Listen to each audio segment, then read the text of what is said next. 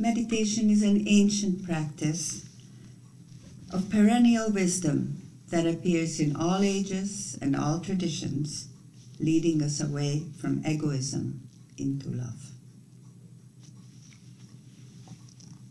Although it has many benefits, Dom John Main always stressed that the real reason we meditate is not personal improvement, peace, not for making community, etc., but very simply for union. Meditation at its most sacred is prayer. This is what Dom Main will talk about this retreat. This is what his life was about. To begin this time together, let me quote from an ancient Upanishad whose words express the fundamental principle of Dom John Main's spirituality, indeed his life, and started him on his lifelong journey of meditation. I begin every talk I give with these words. The Spirit, who is mind and heart and vast spaces, enfolds the whole universe and in silence is loving to all. This is the Spirit in my heart.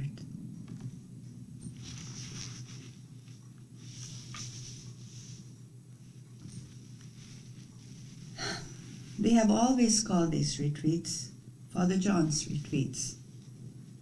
They are focused on his teaching of Christian meditation, and they are from original texts of his retreats and talks, now in the archives of Georgetown University in Washington. His taped teachings were given in Montreal during the last years of his life. As I said, the focus is always on the silence and the meditation. It prepares us for the ultimate prayer, the only prayer, the prayer of Christ, whose prayer goes on at all times, whether we are aware of it or not, in each human heart. His prayer is that torrent of love that flows between the Son and the Father, who is the Spirit the Holy Spirit. This torrent of love within which we are swept away as we are carried by Jesus to the Father. All we have to do to enter it is to leave ourselves behind. The mantra leads the way. Dom Main said that we are called not to dialogue with God, but to union with God. Called not to dialogue, but to union. We are, all of us are, called to communion, called to wake to the eternal oneness that has always been, always is. We become that which we delight to gaze upon. To be with, Father John said, is to be in love. We can only live in relationship. Love is perfect, he said, when it is reciprocated. The early fathers and mothers of the Egyptian desert in the third century taught and said that God became man so that men might become God. God became man so that men might become God. The realization of this is so stupendous, so overwhelming, that it is beyond understanding.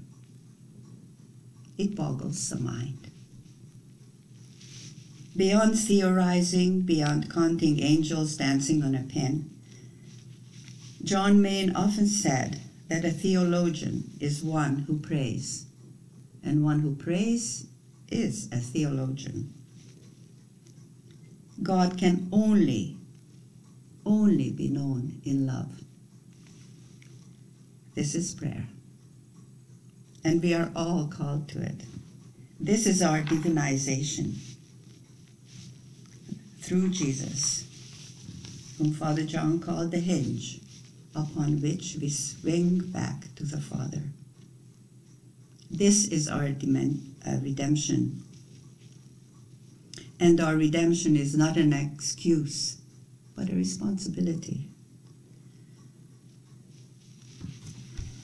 I remember um, John Main having finished reading Jung, commenting that um, what, a, what a wise man. Uh, I agree with everything he said, except for one thing.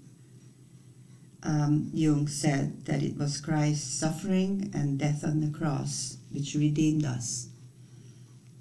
And Father John said it was Christ's love who redeemed us. John Main was a man of love. It was the only thing that ultimately mattered to him. And he was a man of deep prayer. For him, prayer was love. I remember one day in the priory, after lunch, uh, our walk on the mountain, we, we, we, were having a conversation, or rather, I was listening and he was speaking. And um, I don't know what I asked him, but his answer was, after a minute of few seconds of silence, is the only thing I know, he said, the only thing I know how to do is to love. Now, this was rather difficult to uh, wrap my mind around, and um, and I don't know what I thought at the time, but but it stayed in my mind and, and I, I ponder it. And I think I understand more now what he meant.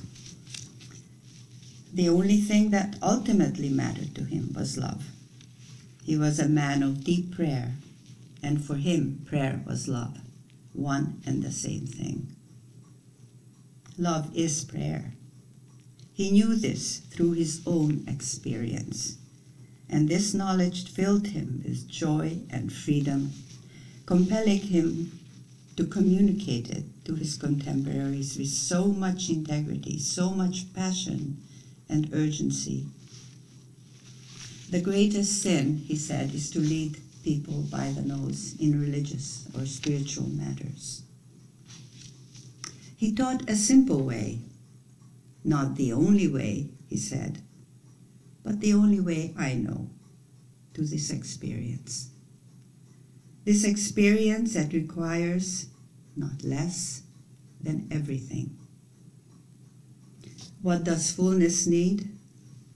I, he said in one of his talks, and he replied almost imperceptibly to himself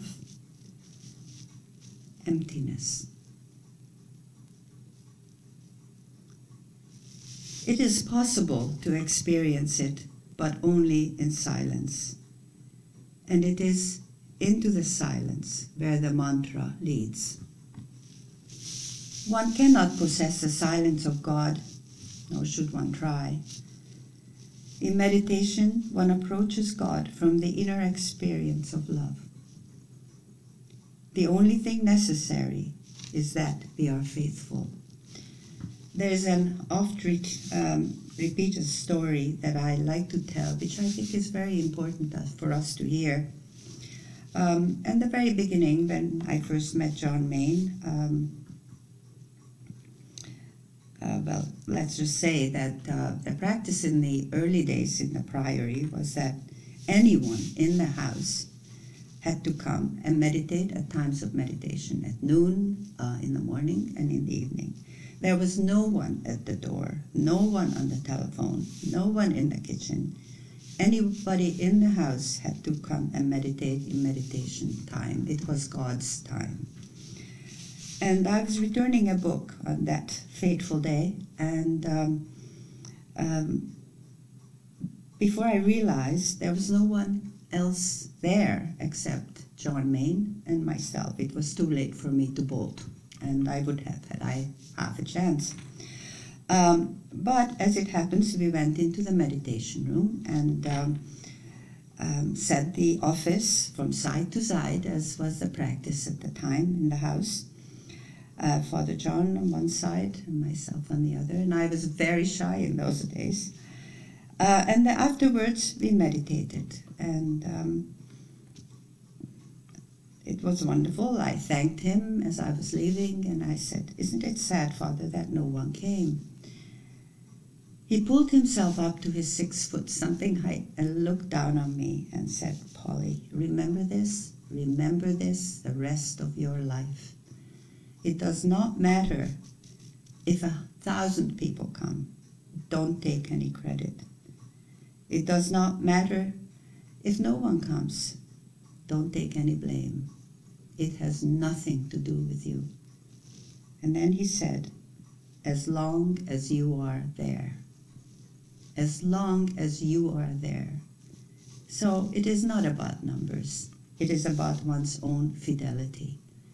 And um, this has stood me in good stead over the years.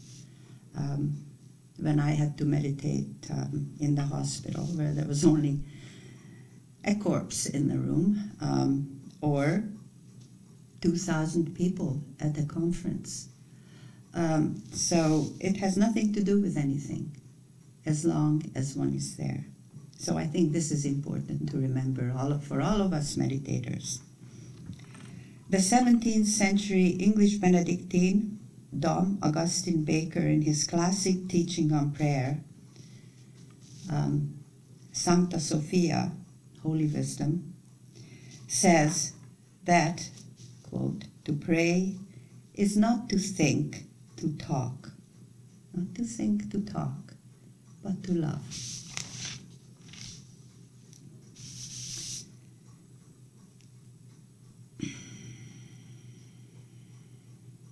Now we shall listen to John Main, um, to a talk he gave at the Priory such a long time ago.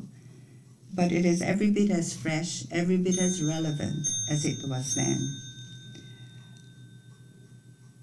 But before this, we will listen to a, a few seconds of music.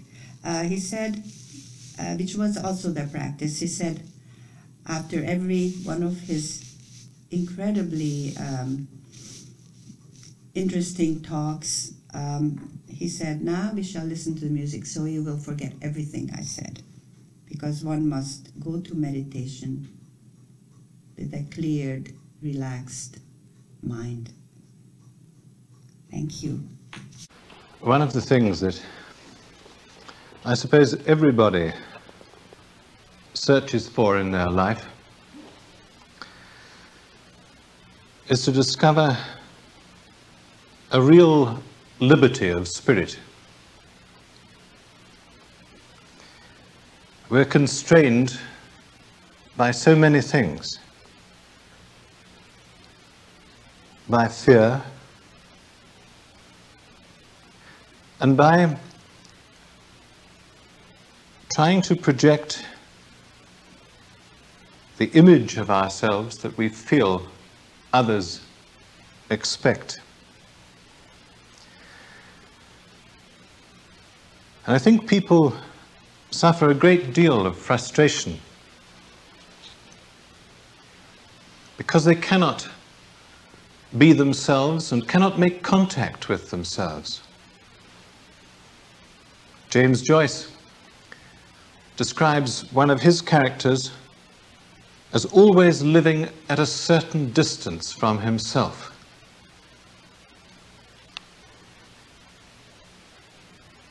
Now, what Jesus came to proclaim was precisely this liberty. The liberty to be ourselves, and the liberty to find ourselves in Him, through Him, and with Him. meditation is the way to that liberty. It's the way to your own heart. It's the way to the depth of your own being where you can simply be. Not justify yourself. Not apologize for yourself. But simply rejoice in the gift of your own being.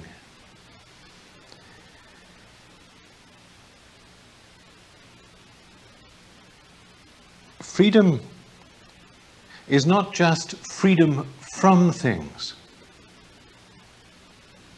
Christian liberty is not just freedom from desire, from sin.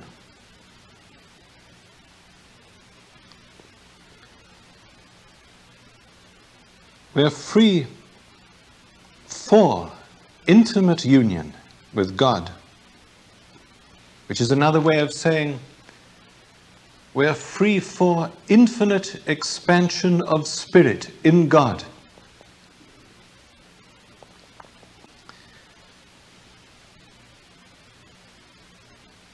Meditation is to enter into that experience of being free for God.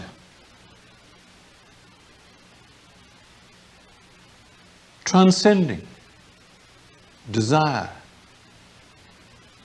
sin,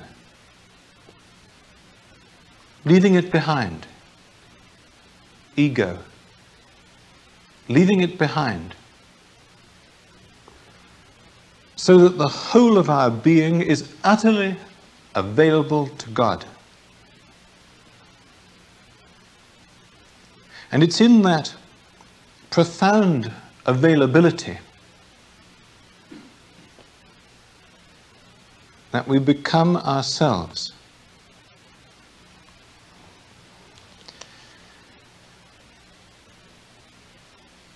Listen to these words of Jesus. Turning to the Jews who had believed in him, Jesus said, If you dwell within the revelation I have brought, you are indeed my disciples. And you shall know the truth, and the truth will set you free. Meditation is simply dwelling within the revelation, dwelling within the vision of God.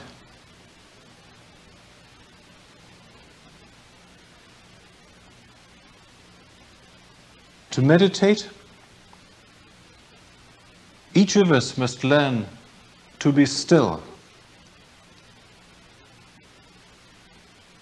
And that's a discipline. When we meditate in a few moments together, all of us should spend a few moments just getting into a comfortable sitting posture. And then all of us at some time, probably during our meditation, will feel like moving.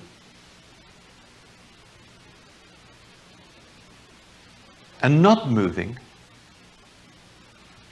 staying still, will perhaps be for us the first lesson in transcending desire, transcending that fixation that we so often have with ourselves.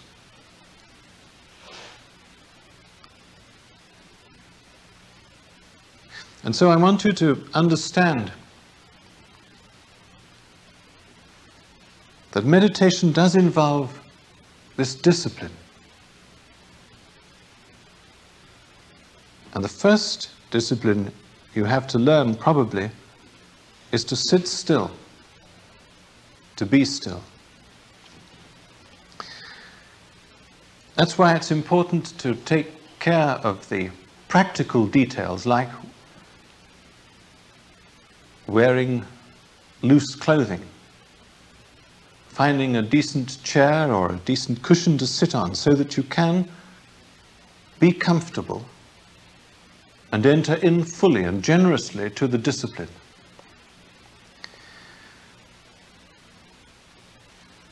Now, when you sit down and sit still, close your eyes gently, and then begin to repeat your word. And the word I suggest you use is Maranatha. That's four syllables. Ma-ra-na-tha.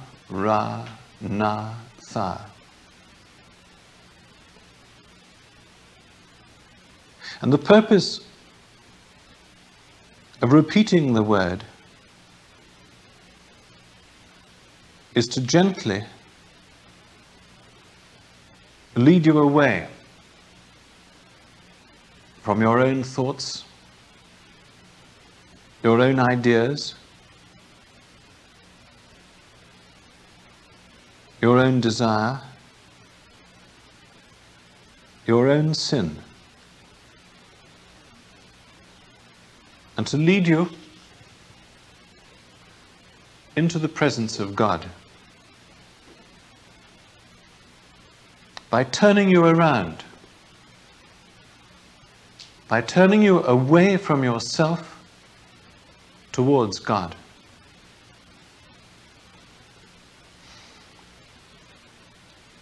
Say the word gently but deliberately. Say the word in a relaxed way, but articulate it silently in your mind. Ma, ra, na, tha. And gradually, as you continue to meditate, the word will sink down into your heart. And this experience of liberty of spirit is the uniting of mind and heart in God.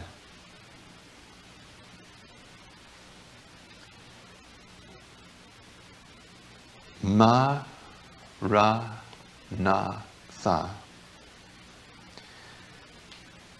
As you begin to meditate, all sorts of questions will arise in your mind. Is this for me? What does it mean? Should I be doing this? Am I getting anything out of it? And so forth. All those you must leave behind. You must transcend and you must come to your meditation with childlike simplicity. Unless you become like little children, you cannot, cannot enter the kingdom of heaven. And so, my advice to you is say your word. Be content to say your word. And allow the gift to be given by God. Don't demand it. We should come to our meditation with no demands, no expectations, but just that generosity of spirit that summons us to be as present as we can to ourselves, to God.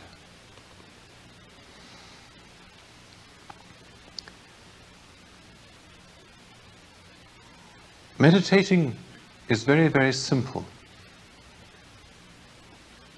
Don't complicate it. As you meditate, you should become more and more simple, not more and more complicated. Listen to the words of Jesus again. Turning to the Jews who had believed him, Jesus said, If you dwell within the revelation I have brought, you are indeed my disciples. You shall know the truth, and the truth will set you free. If then the Son sets you free, you will indeed be free.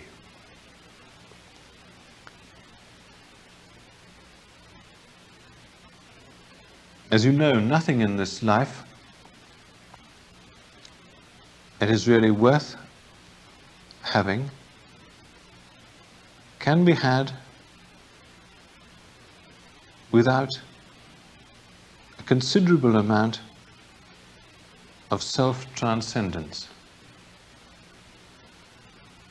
It's the real loss of self that brings us the joy.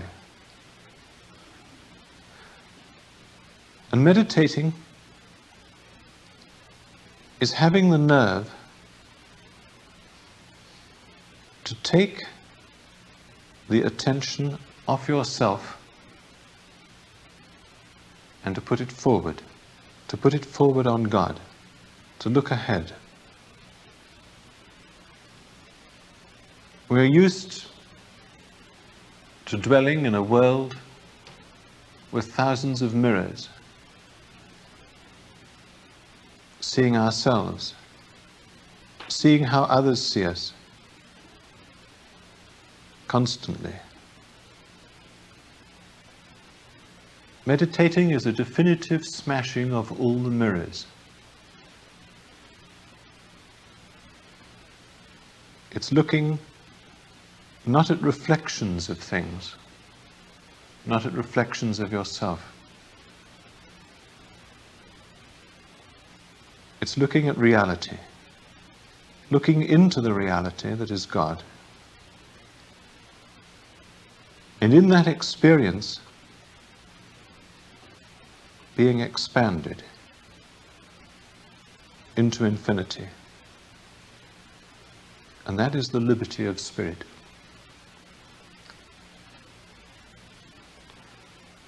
We're going to meditate now for about 25 minutes. Remember, sit still. Say your word, and say your word from the beginning to the end. If you want to learn to meditate, it is absolutely necessary to meditate every day. Every day of your life, every morning, and every evening. There are no shortcuts.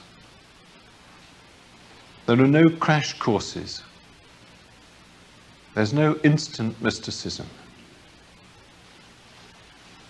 It is simply the gentle and gradual change of direction, change of heart. And the change is to stop thinking about yourself